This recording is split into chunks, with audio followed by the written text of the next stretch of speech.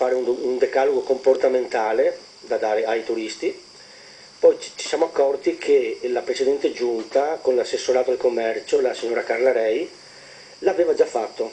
Il decalogo comportamentale c'ha già un paio d'anni, è lì, è un, una specie di progetto nel, nel cassetto, la ex assessora l'aveva già lanciato, l'aveva, aveva già messo delle, de, dei cartelli sui pontili dei vaporetti, però non basta, noi abbiamo delle idee per implementare questa idea. Non è mai decollato in realtà, non ha mai raggiunto i turisti veramente? Eh no, perché i turisti sono milioni di milioni. Abbiamo intenzione di far rendere questo decalogo comportamentale eh, virale e famoso nel mondo, in modo che... In rete.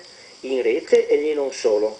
In modo che eh, in tutto il mondo si sappia che Venezia è una città diversa dalle altre, che non è Disneyland, non è un parco giochi, ma è una città abitata da abitanti e quindi per forza bisogna seguire, per il turista, delle regole. Poi faremo quello per i veneziani più avanti, perché cioè, sono i primi a non comportarsi sempre molto, molto bene. Io vorrei fare una conferenza stampa a Roma come Venezia.com come Venezia.com in collaborazione con l'amministrazione è, è, lo stesso, l'importante è farlo poi se vogliono che, che, non metto il nome, non metto il nome. E una conferenza stampa eh, al Palazzo della Stampa Estera, io conosco il presidente, è un signor olandese, Mar Martin, e far fare in tutti i giornali del mondo la notizia che Venezia invita i suoi ospiti a seguire delle regole, è il, il primo passo. Poi vorrei presentarmi dalle agenzie viaggi più importanti del mondo, faccio l'esempio booking.com muove il 55% delle prenotazioni mondiali e vorrei suggerirgli di mettere il link con le regole per Viva Venezia in ogni prenotazione entrante a Venezia.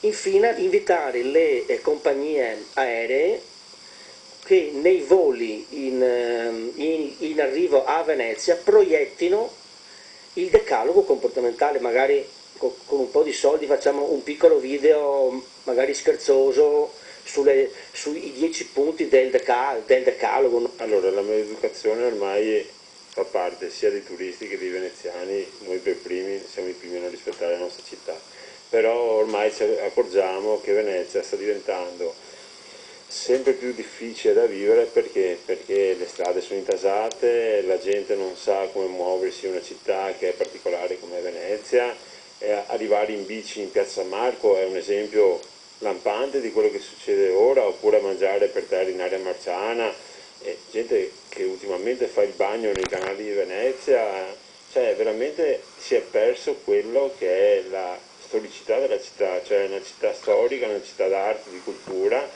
che deve essere valorizzata e rispettata. Qualche esperienza personale? Eh beh, ma la viviamo tutti i giorni nei canali. Eh Faccio un esempio stupido, la, la persona che non trova un bagno pubblico e la fa in acqua, oppure chi in questi giorni di calura si tuffa nei canali, chi butta le bottigliette d'acqua o l'immondizia non sa dove metterla e naturalmente non se la porta a casa ma la butta nei canali. Questo, cioè, una città, ripeto, delicata come Venezia ha bisogno di tutt'altro turismo, di una persona che si sappia comportare come devono sapersi comportare i veneziani comunque, perché noi siamo i primi che dobbiamo dare il nostro esempio.